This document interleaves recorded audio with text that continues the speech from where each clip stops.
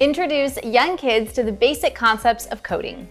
Hi, I'm Laurie from TTPM here with TangiPlay Code and Play from TangiPlay. It comes with 12 robot figures that interact with the free TangiPlay app when placed on a tablet screen. And to see more cool coding in kids apps, click subscribe below. The robots come in five different colors and each color does something different. You can see what each robot's action is by the symbol and word on its head.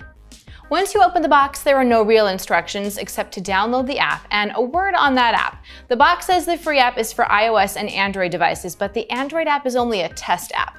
According to the TangiPlay website, the app is currently only for iOS devices. Once you've activated the game, there are 120 puzzles to solve, and it's all about building train tracks and sending passengers to the station.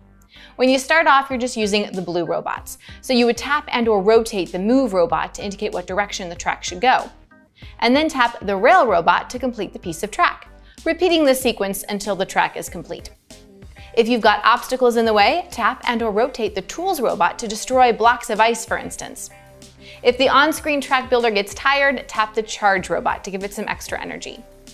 As you progress through the levels, you'll add more of the robots. Tapping and rotating the green loop robot determines how many repetitions of an action there should be.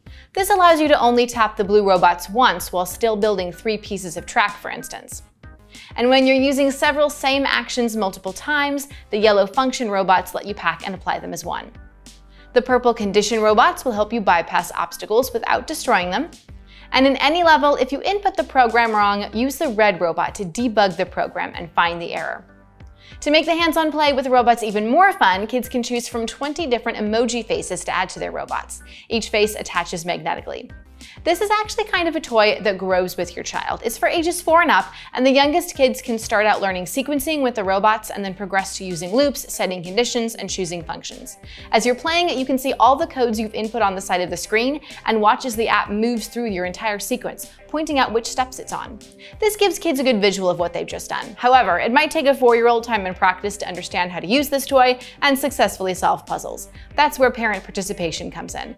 But hopefully, the combination of colorful robots with their funny emoji faces and engaging on-screen graphics will be enough to keep kids wanting to play and problem solve. What do you guys think of this toy, and coding toys in general? I'd love to hear your thoughts in the comments. My pros for it are that it grows with your child, there are a lot of puzzles to solve, and the interaction between the colorful robots and the app is cool for kids to watch. The only con is that I was a little bummed the app wasn't compatible yet with my Kindle Fire, especially when the box clearly says get it on Google Play, but I still give this four stars. To see reviews of all the latest toys, visit the TTPM Toy Reviews YouTube channel.